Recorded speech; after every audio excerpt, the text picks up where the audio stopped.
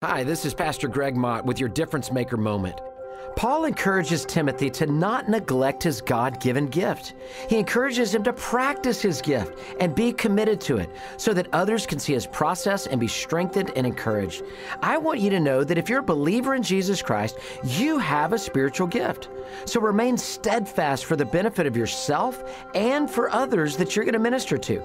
God gives a gift to all of us. Our gifts are unique and special to each person. You may have the spiritual gift of teaching or wisdom or counsel or faith or discernment. I encourage you to discover it. Take a spiritual gifts test and find how you can be most beneficial to the church and to the kingdom of God. Don't neglect your gifts. Be committed to them and put them into practice, and you'll be a blessing to the body of Christ, and you'll receive a blessing as well.